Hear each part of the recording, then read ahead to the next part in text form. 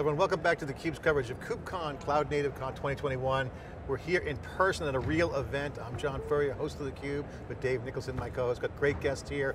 Two founders of brand new startup, one week old, Kim Lewandowski and Dave Lorenc, uh, with ChainGuard, former Google uh, employees, open source community members, decided to start a company with five other people? Five, total.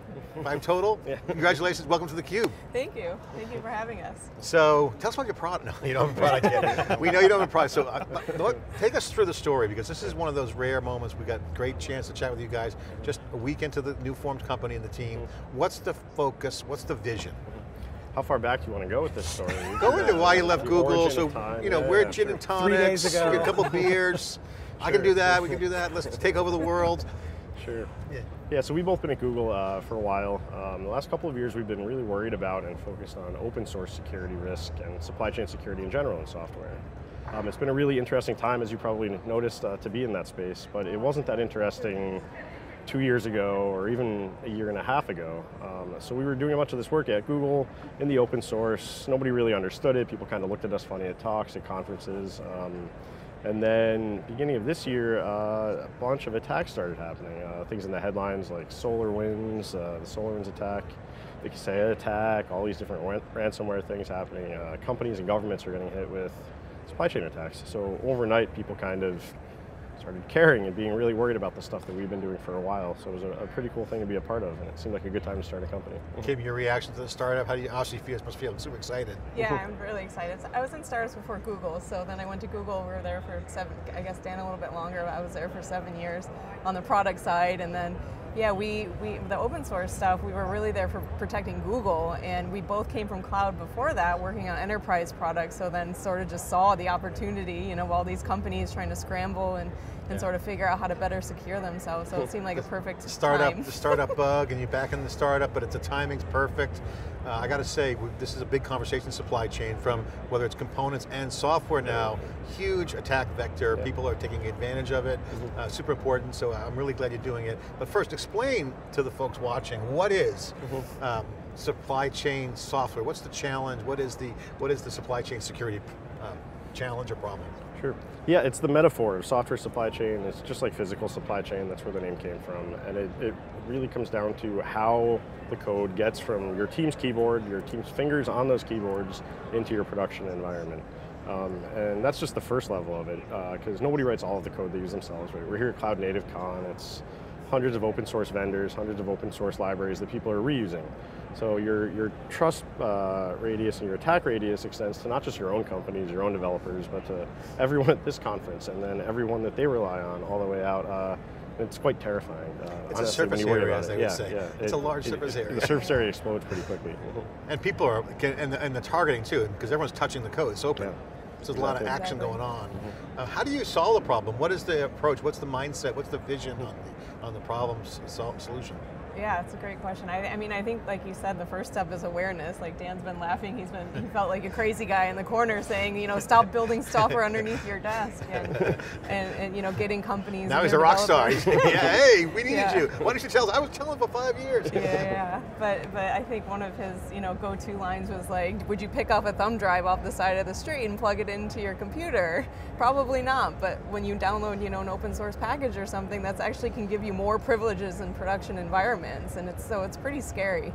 Um, so I think you know for the last few years we've been working on a number of open source um, projects in this space, and so I think that's where we're going to start. Is we're going to look at those and and try to grow out the community, and we're, we're watching companies, even like SolarWinds, trying to piece these parts Yeah. together um, and really come up with a better solution for themselves. Are there existing community initiatives or open source efforts that are underway that, that you plan to participate in, or are you char- are you thinking of charting a net new path?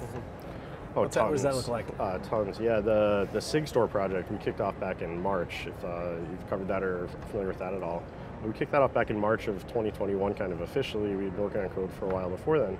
The idea there was to kind of do what Let's Encrypt did uh, for browsers and web um, security, but for code signing and open source uh, security. So you've always been able to get code signing certificates, but nobody's really using them because they were expensive, they were complicated. Just like Let's Encrypt did for CAs, they made a free one that was automated and easy to use for developers, and now people do it without thinking about it.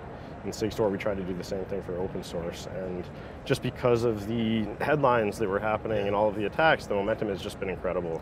Is it a Um, problem that people just have to just get on board with a certain platform or tool, or that people have too many tools, they abandon them, their their focus shifts? Is there why? uh, What's the what's the main problem right now? Well, I think you know part of the problem is just having the tools easy enough where developers are going to want to use them, and it's not going to get in our way. You know, I think that's going to be a core piece of our company is really nailing down the developer experience and these toolings and like the co-sign part of SigStore that he was explaining. Like it's literally one command line to sign um, a package, sign a container, and then one line to verify it on the other side. And then these organizations can put together sort of policies around Yeah. who they trust in their system. Like today, it's completely black box. They have no idea what they're running, and, Yeah, and, and it yeah. takes a re, you have to they have to rethink and redo everything. Yeah. Pretty much, if Yeah. they want to do it right. Yeah. If they're just kind of fixing the old, Mm-hmm. you're a s- sold next SolarWinds Yeah, basically. yeah. And that's why we're here at Cloud Native Con when people are, you know, the, the timing is perfect because people are already rethinking how their software gets built as they move it into containers and as they move it into Kubernetes. So it's a perfect opportunity to not just shift to Kubernetes, but to fix the way you build software from the start. What would you say is the, the, the most prevalent change, mindset change of developers now? If you had to kind of kind of look at it and say, Mm-hmm. okay, current state of the art mindset of a developer versus say a few years ago, is it just that they're doing things modularly with more people, or is it more new approaches? Is there is there a uh, pattern? I think it's just paying attention to your build and release process and taking it seriously. Um, this has been a theme for since I've been in software, but you have these very fancy production data centers with physical security and all these levels of uh, trust and prevention and making sure you can't get in there. But then you've got a Jenkins machine that's three years old under somebody's desk building the code that goes into there. And he, he gets socially engineered, gets hacked. Exactly. boom, Yeah, it's, it's like done. the it's like the movies where they uh, instead of breaking into jail, they hide in the food delivery truck. It, it, it's that. That's the metaphor that I like perfectly. Exactly. The fence doesn't work if you're The just opening. truck. Yeah, if you open the door once a week, it doesn't matter how big the fence is, kind Yeah, of thing. So. that's good, Daniel. That's funny. And I, I think too, like I, when I, I used to be an engineer before I joined Google, just like how easy it is to bring in a third-party package or something. You know, you need like an image editing software, like just go find one off the internet. And I think, you know, developers are slowly doing a mind shift there. Like, hey, if I introduce a new dependency, you know, there's going to be, I'm going to have to maintain this thing and understand It's it. It's a little So bit I- of a decentralized view too. Also, you got a little bit of that. Hey, if you sign it, you, you own it. If it tracks back to you, okay, you are your fingerprints are, if you will, are on it. Chain of custody. Chain of custody. Exactly. I was, I was going to say when I saw chain guard at first, of course, I thought about my pant leg riding a bike, but then of course the supply chain, mm-hmm. things coming in like on a conveyor belt, conveyor, conveyor belt. But that, mm-hmm. that whole question of chain of custody, it isn't, mm-hmm. it isn't as simple as a process where someone grabs some code, embeds it in what's going on, pushes it out somewhere else. That's not the final step typically. Yeah. Yeah. So, Somebody else grabs that one and does Right. it again 35 right, more so times. who's Yeah. responsible and how do you verify that? That's yeah. Yeah. It seems like Yeah. an obvious issue that needs to be addressed, and yet apparently, from what you're telling us, for quite a while, people thought you were a little bit nutty. And it's not just me. I mean, uh, so Ken Thompson um, of you know Bell Labs and Unix Legend. fame wrote. yeah, he wrote the book. He wrote, yeah, He wrote the C book that I grew up on.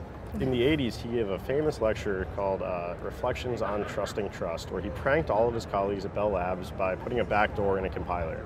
And that put backdoors into every program it compiled. And he was so clever, he even put it in, he made that compiler put a backdoor into the disassembler to hide the backdoor when his colleagues looked for it. He was a genius. Yeah, and so he spent weeks, and you know, people just kind of gave up. And I think at that point they were just like, "Wow, we can't trust any software ever," and just forgot about it and kept yeah. going on and living their lives. So this is a 40-year-old problem, Yeah. um, and we only care about it now. It's totally reason. true. A lot of these Yeah. old sacred cows, software development life cycles, not really that relevant anymore because the workflows are changing.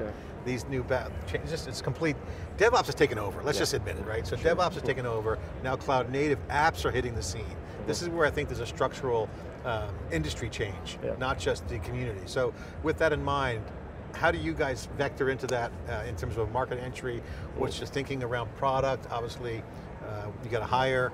Yeah, we gotta Uh, hire. Did you guys raise some capital? In- in process. A little, yeah. little bit of a capital raise, so it's probably no problem, hot market. But product-wise, you got to come in and get a beachhead. Yeah, I mean we're, we're we're casting a wide net right now, talking to as many customers. Like we've met a lot of these these customer potential customers through the communities, you know, that we've been building, and we did a supply chain security con, helped with that event this this Monday, negative one event. And SolarWinds and Citibank were there and talking about their solutions. Um, and so I think you know, and then we'll narrow it down to like people that would make good, Well, a good great story. partners to work with and figure out how they think they're solving the problem today, and really sit closely. How do you guys feel? them. Good? You feel good? feel We're great, excited. Well, we got Jerry Chen coming on from Greylock next. Oh, awesome. So if you hang around, maybe we can get a term sheet. And say, Jerry, these guys got some action on, you know, there. Get in there. Probably didn't reply to him on LinkedIn or something. Sorry about that. He's coming out with Chronosphere. He just invested 200 million in Chronosphere. Awesome. So, uh, you guys should have a great time. Congratulations on the leap. I know it's comfortable to be in Very Google. A lot of exciting, things to work exciting. on. Um, and doing startups are super fun too, but not easy. Not for the faint of heart. You know, you, you guys done it before, so great. Roller coaster. Cool. What do you think about today, the event here? A little bit smaller, more like a VIP event. What's your take on on this? I mean, I think it's good to be back in person. Obviously, we're meeting. We've been associating with folks over Zoom and, and Google Meets for a while now, and meeting them in person is like, oh hey, you know, hard to recognize behind the mask. But yeah, we're just glad to sort of be back out and a little bit of normal-ish, I guess. Dan, how's everything in Austin? Everyone, everyone's safe and good over there? It's been pretty good. Yeah, it's been a long, long pandemic. Um, lots of ups and downs, but yeah. Dan's hair has an identity uh, of its own. yeah. You got to get the music scene back. Once the music comes back in Austin, everything's all back to normal. Yeah, I know my hair the- doesn't normally look like this. I just haven't gotten a haircut since this all Yeah, started. that's good. You're so gonna, you're gonna it's, do well in this market. You get, yeah, you get a term sheet like that. Keep the haircut think until I you saw- get the money. I think I saw your LinkedIn profile and I was wondering, it's like, which version are we Yeah, going yeah, to we'll get see. Yeah, yeah. Wow, super relevant, super great topic. Congratulations. Thanks for coming on, sharing your story here on the Cube. Yeah, thanks for having it. us. Thanks for having us a lot. It's great. Thanks. John Furrier, Dave Nicholson here on the Cube. Day one of three days. We're back in person. Of course, hybrid event. Go to thecube.net for all more footage and highlights and remote interviews. So stay tuned. More coverage after this short break.